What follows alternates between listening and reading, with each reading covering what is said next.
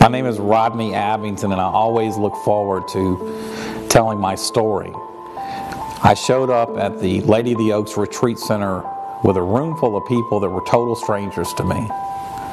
Three days later, I walk out of that same room knowing these guys better than most people that I speak to on a daily basis. My buckets are full.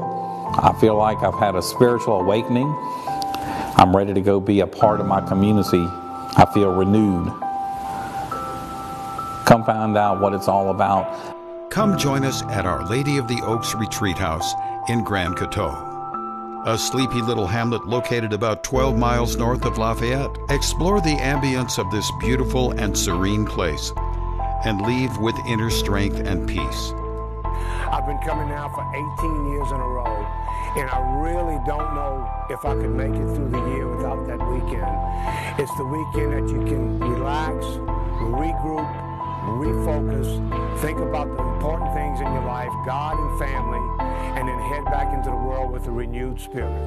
The retreat house is part of a 700 acre tract of land referred to as the Holy Land of the South. There's a quiet majesty to the land with a deep sense of history, past, present, and future. While you are here, you live in an oasis, a simplicity that you may have forgotten in the chaos of today's world. Come back to a simpler time with comfortable accommodations and great food in a beautiful setting and renew your faith, replenish your inner strength, and return to the world as the grounded individual you were meant to be. Contact the Retreat House at 337 662 5410